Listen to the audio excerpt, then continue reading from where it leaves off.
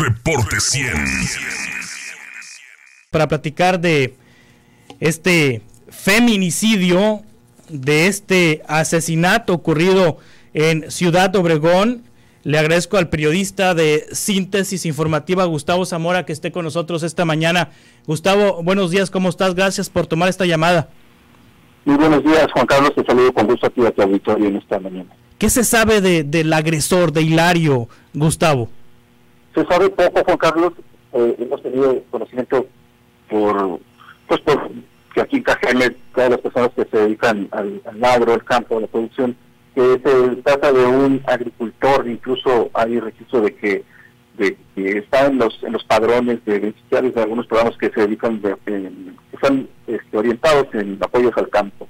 Sí, sí, es Pues, agricultor. Bueno, aparte de eso, perdón, aparte de eso, pues se, se sabe que, que tenía su domicilio ahí, por la calle Puebla, en la zona norte, en el corazón de la zona norte, y que pues desde hacía una semana, una semana atrás, estaba acosando a una, a una mujer, a una empleada, a la cajera de la carnicería, este, Ana, Ana Itzel, y es hermana de la víctima, Ana Lourdes Llamas. Sí, eh, el día sábado entonces este hombre de 71 años eh, acudió a la carnicería y siguió su acoso hacia esta mujer.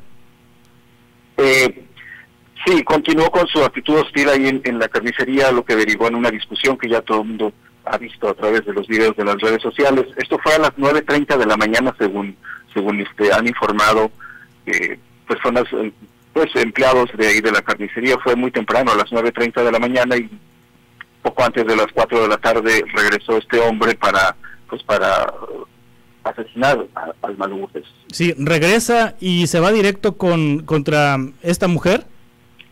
Regresó eh, encapuchado, regresó encapuchado y él quizá en su intento por pues por desviar un poco la atención de la agresión directa fue so- preguntó dónde estaban los los empleados del turno de la mañana pues, esto, y pidió también que se le entregara el dinero como si se tratara de un de un asalto pero cuando advirtió ya la presencia de Almalo Burgues fue cuando le le, este, pues le dispara en tres ocasiones con esa arma que refería, es una calibre 38. Sí. Eh, fue identificado, obviamente, pues ubicado.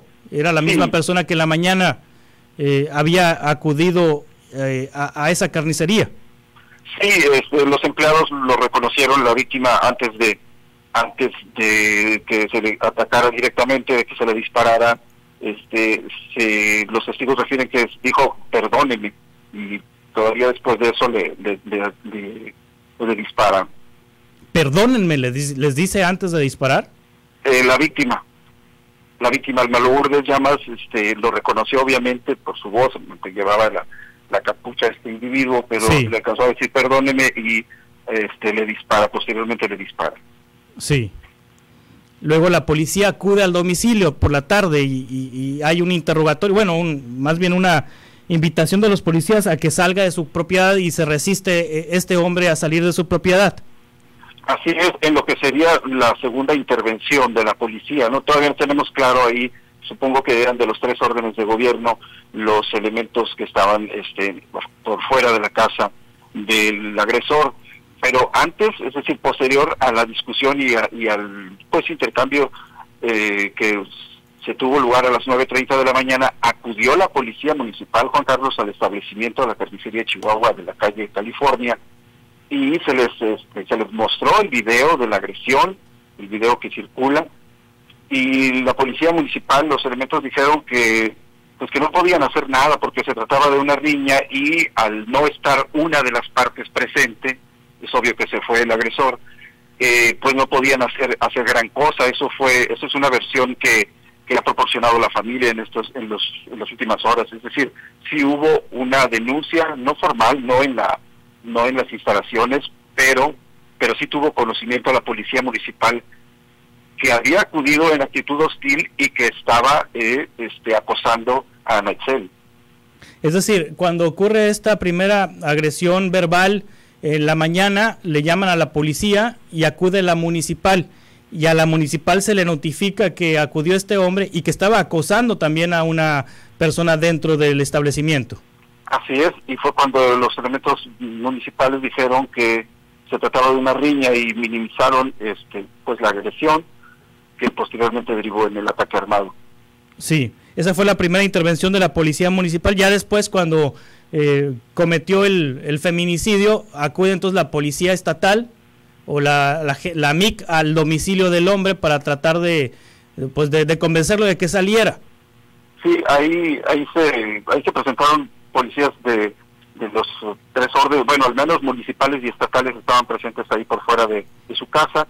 Tenemos entendido que la, la, la, incursión de los elementos a su casa se dio antes de las 10 de la noche y fue cuando se logró la captura de Hilario de 71 años. Sí, ¿ha habido algún informe, algún eh, reporte, eh, alguna reacción de parte de la Policía Municipal de por qué eh, no acudieron, digamos que, a, investigar más esta denuncia que habían hecho estas mujeres de, del acoso de este hombre por la mañana del sábado? No, no ha habido nada el día de ayer sí este, estuvieron autoridades, de, pues el, alcalde, estuvo el jefe de la policía, estuvieron, pero se dedicaron a, atender los efectos de la lluvia. Sí. Se presentó aquí en Sobre Sonora. Ahorita a las 10 de la mañana va a haber una conferencia de prensa del presidente municipal de Cajeme y se espera que esté también ahí el comisario de la policía municipal. Sí. ¿Quién era Alma Lourdes Llamas, la mujer asesinada? Alma Lourdes Llamas era una empleada de la carnicería de Chihuahua, se dedicaba, ella tenía el puesto de gerenta, su hermana trabajaba como cajera y bueno, las versiones de su familia nos, nos señalan que se trataba de una mujer muy trabajadora, una mujer de 30 años de edad, eh, madre de familia de una, de una niña y refieren que, bueno, este, se encontraba apenas esforzándose todos los días para pues para mantener su, su, su nivel de vida, para mantenerse, para darle lo mejor a su hija y es, el sábado le fue arrebatada su existencia por este individuo. Sí. Eh, ya hubo una eh, audiencia ayer inicial de imputación hacia esta persona y hubo una ampliación del plazo que pidió la defensa. Así es, se terminarán las 144 horas, tengo entendido, este, y pues son situaciones normales que se presentan cuando los imputados tienen, este, pues están asesorados por abogados y amplían el plazo para considerar presentar alguna prueba que, que mitigue su culpa, entiendo yo. Sí. Juan Carlos, me gustaría este eh, ahondar un poquito en algo que ocurrió el sábado y que está muy estrechamente ligado con este con este feminicidio. Sí. Y es una, una a la, sociedad, pero los medios de comunicación, Juan Carlos, fue este de forma pues, involuntaria, pero muy lamentable el hecho de que se catalogara esto, de que se, erigieran todos como un tribunal e incluso catalogaron este, este ataque armado que detrás de eso había un crimen pasional, lo cual victimizó todavía mucho más y la a la familia le causó un dolor profundo. Estaban, estaba su hermana precisando que no se trataba ni era ni por supuesto no existía la mínima posibilidad de que tuviera alguna relación, pero más allá de eso es la ligereza con la que quienes cubrían la nota y quienes este, hacían los enlaces en vivo y, que se pues estaban eh, transmitiendo el, dolor en el lugar de los hechos, que catalogaran este este ataque armado, este feminicidio como como un crimen pasional, eso lastimó muchísimo a la familia, nos lo hacían ver. Sí, de hecho, ha circulado por redes sociales una comunicación de de, la hermana, de la hermana de, la víctima, en donde justamente señalan esto, cómo con ligereza se eh, concluyó eh, en, las, los primeros minutos de que se trataba de un supuesto crimen pasional. Sí, así es. Esto ha derivado pues en la indignación de varios de muchos sectores aquí en Cajeme y ya se tiene programada una manifestación para el viernes, este próximo viernes 25 a las 4 de la tarde están citando algunos colectivos feministas para pues para reunirse en lo que es el callejón de la mujer no se sabe todavía detalle en la ruta el dónde va a terminar esta manifestación pero ya ya este este feminicidio que ocurrió el sábado ya ha despertado la conciencia y la indignación de muchos cajemenses, de muchos ciudadanos. Gustavo, muchas gracias por este reporte. ¿Cómo seguimos tu cobertura, la cobertura periodística que realizas sobre este y otros casos? A través de arroba síntesis informa. Muchas gracias, Gustavo. Que estés muy bien. Hasta luego. Hasta pronto. Reporte 100.